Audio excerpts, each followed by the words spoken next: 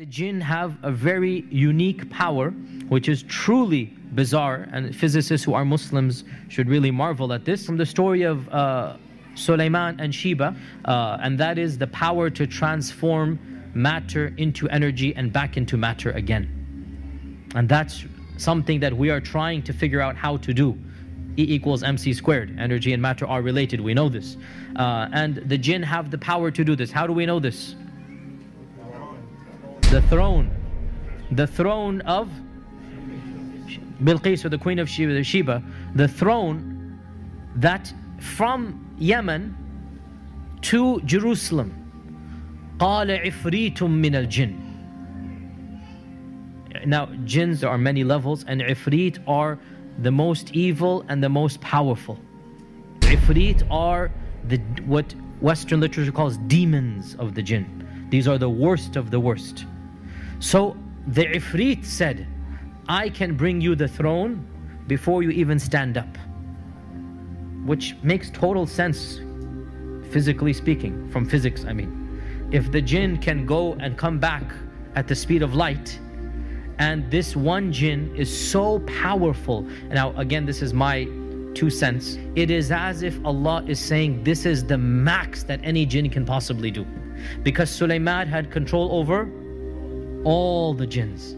And one of them said, just one, which means the rest, they don't have that power, right? So we need to put things into perspective that the jinns are not all of them so powerful. One only said that he can do this. That was the strongest and the best. So therefore we need to understand that what is the strength of the strongest jinn that maybe we have ever seen he can pick up the throne of Sheba.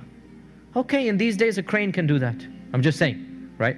It's not as if the jinn can pick a star up or the moon. It's a physical strength that we can understand.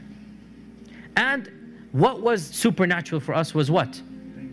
Is that to transport it. And it is well known that this throne is going to be inside the palace that when if he were to take the throne it would not be flying in the air people are not going to see it flying rather it would disappear there and appear in front of Suleiman, which means what?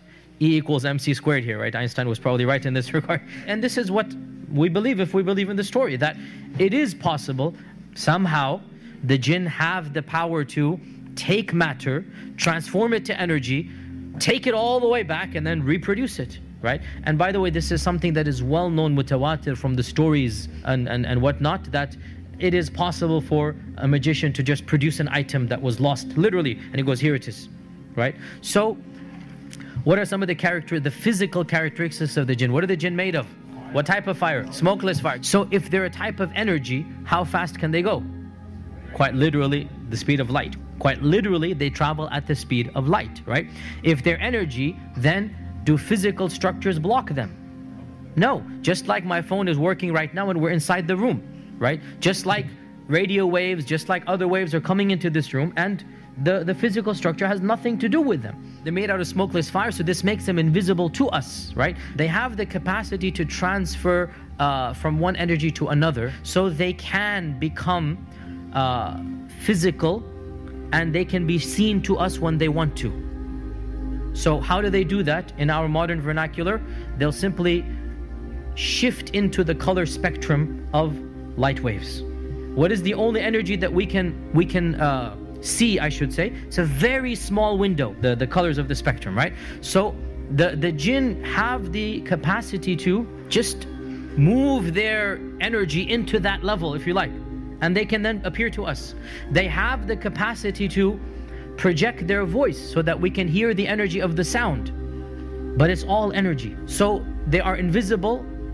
And Allah says in the Quran, إِنَّهُ يَرَاكُمْ هُوَ وَقَبِيلُهُ مِنْ حَيْثُ لَا تَرَوْنَهُمْ Iblis and his tribe can see you from places you cannot see them. So in this regard, they have the upper hand. They can see you and you cannot see them. They can make their presence known to you. You don't have any clue when, where they are or not.